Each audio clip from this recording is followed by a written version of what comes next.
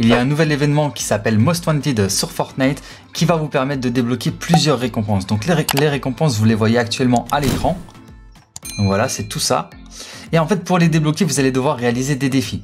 Donc les défis, je vais vous les afficher. Attendez, hop. Ok. Ici, regardez, dans Most Wanted, vous avez plusieurs défis. Donc là, par exemple, si vous augmentez le niveau de notoriété, vous allez gagner 1500 euh, bombes, euh, des petites bombes là, qui est marqué juste à côté. Et quand vous allez dans vos défis, donc dans, dans le pass de combat de Most Wanted, vous avez les récompenses ici pour 4000 bombes. Et le maximum, c'est 48, 48 000 bombes. Donc en fait, ce que vous allez devoir faire, c'est tout simplement réaliser les défis pour débloquer des petites bombes.